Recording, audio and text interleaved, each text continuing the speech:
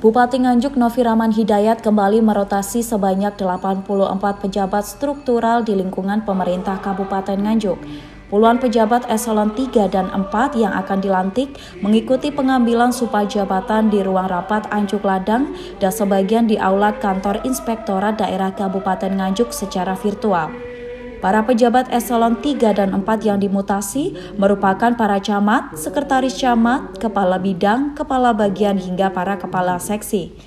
Sementara dari data pelantikan Bupati Nganjuk sedikitnya ada 18 camat dan sekcam yang dimutasi menerima jabatan baru.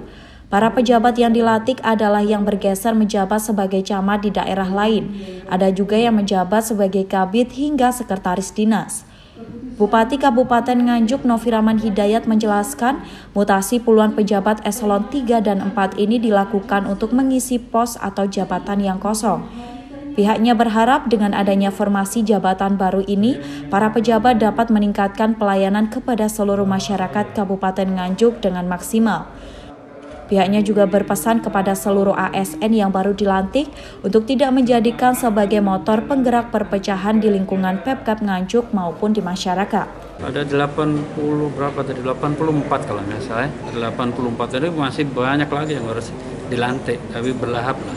Bertahap sekian nanti ada lagi yang baru saya karena juga pejabat yang kosong juga banyak juga pejabat yang kosong kemudian juga karena pensiun ya karena pensiun juga banyak juga ya eselon 3, eselon 4 apalagi eselon 2 ada 6 yang kosong juga ini kan PR bagi saya untuk bisa menyelesaikan PR ini bersama Pak Sekda dan yang lain supaya pemerintahan ini maksimal untuk bisa memberikan pengabdian kepada masyarakat.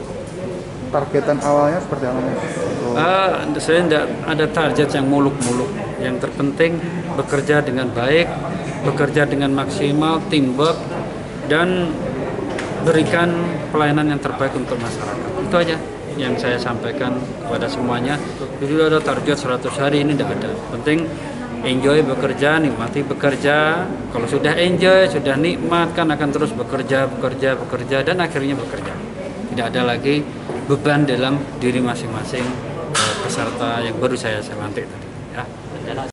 Setelah mutasi gelombang pertama kemarin, Bupati memastikan akan menggelar mutasi gelombang kedua dengan sasaran pejabat eselon 2. Keberadaan enam pos jabatan eselon 2 yang kosong masih menjadi PR di lingkungan pemerintah Kabupaten Nganjuk. Dari Nganjuk, Andri Purwanto, KSTV.